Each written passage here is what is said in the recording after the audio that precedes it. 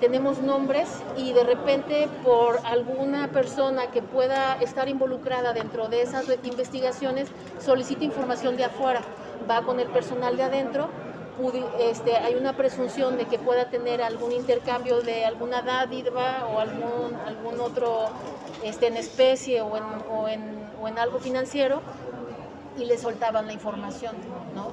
Tú este, va a salir este, con estas ciertas características tu resolución, este, se está atorando por esto, etcétera. Ese tipo de información es la información que se filtra. O sea, dependencias y a funcionarios o a quienes se filtraba esta no, pues a las personas interesadas. O sea, podrían ser medios, podrían ser este, podrían ser este, las personas que están dentro de la investigación, los abogados que les llevan los casos a las personas que están dentro de las investigaciones. O sea, eso se hace, es muy común dentro de las áreas jurídicas, no solamente de la administración pública estatal, sino de, cualquier otra eh, administración, precisamente por el tipo de, de eh, pues ahora sí que de documentos legales pues es que la información eh, pudieran a lo mejor tomar decisiones con base en esos datos, ¿no? ¿Cómo Entonces, para digamos, sancionar este tipo de hechos? Este, pues eh, un ejemplo es que se filtró una información de, y que además fue una mentira, o sea, yo nunca obligué a nadie a que se, a lo de los boletos, de la SEP, o sea, este, creo que cuando uno está en un equipo y, hay algo, algo que apoyar, lo apoya con gusto y no hubo nunca, jamás, una obligación de una compra de un boleto.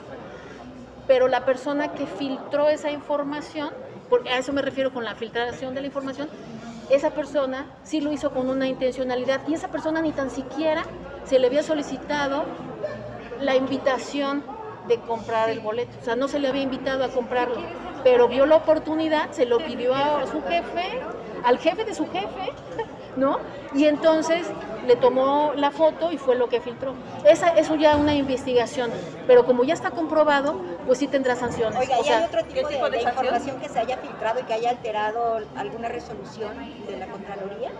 Bueno, o sea, este, a ese grado no, sí, es, los riesgos están latentes, pero si se determinara que una persona filtró la información y que eso afecta a los procedimientos, tendrá que cargar además con la responsabilidad de haber este, tomado una información que no era para esa persona, además tendrá que, si se cae un procedimiento, tendrá que cargar con la responsabilidad de ese procedimiento. O sea, si a alguien se le acusa de haber desviado, no sé, 20 mil pesos, entonces alguien solicita esa información, pues además de haber solicitado esa información que no le correspondía, además, si ese procedimiento se cae, también tendrá que hacerse responsable por esos 20 mil pesos.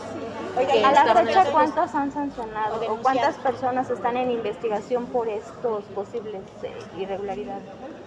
Pues este, hay sus categorías, ¿no? O sea, este, las responsabilidades pueden ser por omisiones, por intenciones, por haber también hecho las cosas a lo mejor con buena intención, pero, pero estaban mal hechas.